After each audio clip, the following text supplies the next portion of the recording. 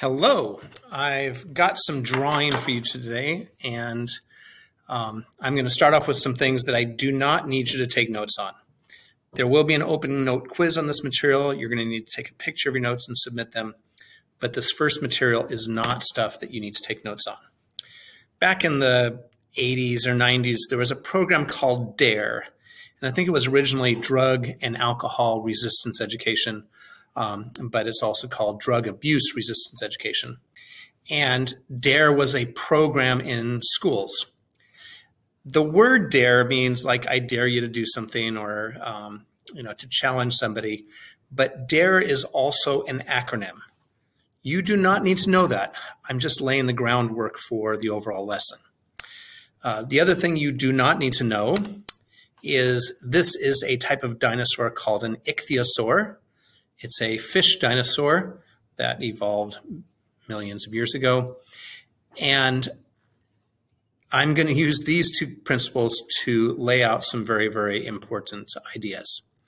So, blank piece of paper for yourself, and don't write either of those words, but I want dare and ichthyosaur to be in the background for you. An ichthyologist, by the way, is a person who studies fish. It's a scientist who studies fish.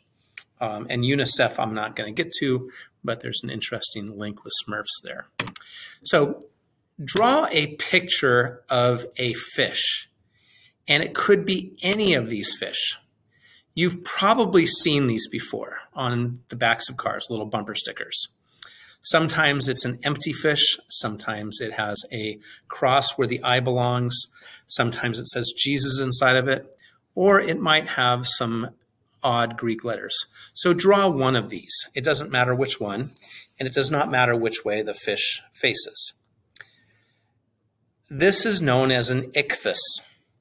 Again, the Greek word ichthys means fish. And the original ichthys, I'm going to be facetious here, was a bumper sticker that early Christians put on their cars. Now, ichthys is a word, it's a Greek word that means fish, but it's also an acronym.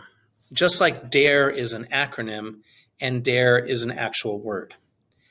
The Greek word ichthys is I, chi, theta, upsilon, sigma, or up here in English, I, chi, theta, upsilon, sigma. And it's an acronym for what early Christians believed. There's some speculation, maybe evidence, that the fish was used as a secret symbol by early Christians. Um, you think about the Bible stories of the loaves and fishes, or Jesus um, helping his disciples catch fish. There's a lot of fish symbolism in the Christian tradition. I hope you've already drawn this. Ichthys is a word, but it's also an acronym. So over here, I, chi, theta, upsilon, sigma. This is the word ichthys. I could do this with DARE, drug, abuse, resistance, education. But I'm going to do this with ichthys. The I stands for Jesus. There's no J in Greek, Jesus. The chi is for Christos, which means Messiah, the anointed one. Theos is God. Theology is the study of God. Upsilon is for use, which is son, and sigma is for soter, savior. I would recommend writing down all five of those words. The Greek word ichthus means Jesus Christ is God's son the Savior. Ichthus. It's a word, it's a Greek word, and it's also an acronym. It's an abbreviation for what early Christians believed. So when people put a fish bumper sticker on their car, what they're trying to communicate is that they are Christians. Ichthus.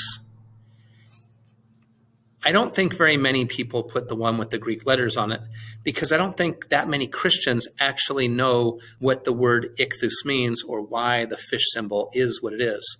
But this goes back to the earliest Christians. Ichthus. It's a popular bumper sticker. Maybe keep your eye out and see if you see cars with it. Maybe even have a conversation with your parents like, hey, I know why people put fish on their cars. And then you can explain to them that it's an acronym and it's a Greek word, and an ichthyosaur is a fish dinosaur. It's not a fish, it's a dinosaur. Um, and an ichthyologist studies fish, ichthus. So you should have a picture of a fish somewhere in your notes, and it should explain the five parts of the word ichthus Jesus, the Christ, God's Son, and Savior. Ichthus. Okay, if you want to make money, bumper stickers is a good way to go. You can make a lot of money making bumper stickers. Going to take you back to my childhood in the 1980s. Um, this is not testable, but I'm leading somewhere. There was a popular window sticker that people put in their car, and actually they came back a few years ago, so you've probably seen these around too. And it was the called the baby on board sign. And you can pause this and read this whole article later, or the snippet of the article later. But the guy who invented the baby on board sign made a lot of money selling these things. It was kind of like the new pet rock. And you can ask your parents if they know about the pet rock. It was this thing that people sold in stores. It was a pet rock. And somebody made a lot of money selling pet rocks. Well, somebody made a lot of money selling baby on board bumper stickers or window stickers. And somebody at some point thought, hey, I see all those Christians driving around with their fish bumper stickers. I've got an idea to make some money and to express a different belief. So this person came up with what's called the Darwin fish. Draw this in your notes. You might need to do a couple of pages. You don't need to draw this big, but it's a fish with feet with the word Darwin in it. Now, it's kind of a joke Charles Darwin was the first person to formulate the idea of evolution. Excuse me. The idea that humans evolved from lower animals, that fish evolved into mammals, mammals evolved into apes, apes evolved into humans. So somebody came up with the idea hey, let's take the Christian fish, let's put the word Darwin inside of it, and let's put feet on it, and let's sell those. And they made a whole bunch of money selling Darwin bumper stickers. I don't know how many people do this for intentional purposes and how many people do it just for kind of fun.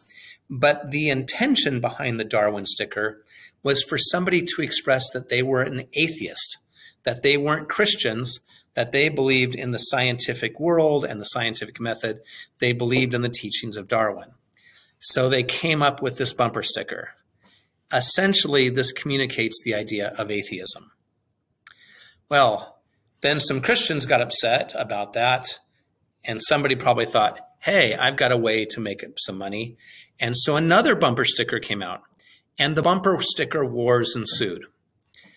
Next one, draw one of these two. They started having Jesus fish eating Darwin fish, or they started having truth fish eating Darwin fish. Either one's fine.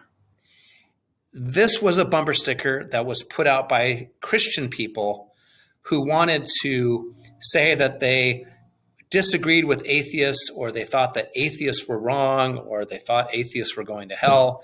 And so they have their Jesus fish eating the Darwin fish.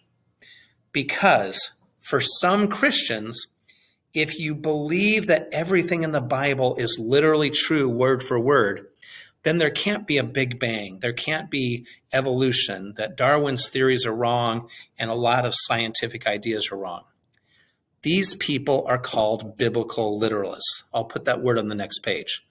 But draw one of those two stickers or images where there's a Jesus fish eating a Darwin fish or a truth fish eating a Darwin fish, because that came to express a completely different way of thinking, a, a completely different worldview which is not the worldview I have. I identify myself as a Christian, but I'm also a scientific person. I have a, a degree in science. I trust science. So a new bumper sticker came out. Here's several samples. You can draw any one of them. Somebody else came out with a bumper sticker that had like a Jesus fish and a Darwin fish kissing each other, or a Jesus fish and a Darwin fish saying, Can't we just get along? I am a Christian, I'm a religious person, and I also believe in science. I do not read the Bible literally. I do not believe, as Genesis 1 says, that there's a giant dome in the sky with water above it. I do not believe that the world was created in literally seven days. As a Christian, I can believe in science. And this belief system, again, draw one of these four. This world, this worldview says I can be a Christian and I can also be a scientific person. That I don't need to have an argument between Darwin and Jesus that being a Christian and being a scientific person are okay. And this is called the contextual approach to Scripture. See, I'm bringing it back to the Genesis stuff that you all did. Um, and then this is a different one. This is for people who are secular humanists who believe in humanity evolving itself. You don't need to draw that one. So you should have a symbol drawn that expresses Christianity. And that's one of the regular fish. It's the ichthus fish or the empty fish or the one with the cross where the eye is that kind of looks like a, dumb, a dead fish. That represents Christianity. You should also have a symbol drawn that has the Darwin inside and the feet on it. And that symbol is expressing atheism. The third one you should have is where you have, have Jesus fish eating a Darwin fish or a Jesus fish, um, a truth fish eating the Darwin fish. That is biblical literalism. That is for people who say, I believe the Bible and I don't believe um, science or I don't believe certain scientific principles. And then the other picture you should have should have a Jesus fish and a Darwin fish getting along or swimming next to each other or not fighting, not eating each other. Um, and that's the contextual approach to the Bible. There are millions of Christians who read the Bible literally that God made us out of uh, mud, God took a rib out of the man, and that's how God made the woman. That's how the world was created, and it happened in seven days. That is a biblical literalist approach. There was one man named Adam, one woman named Eve, and all humans descended from them. A little bit of a gene pool problem there. The fourth picture you should have is the Darwin fish and the Jesus fish getting along with each other. That's an approach taken by millions of Christians. Catholics read the Bible contextually.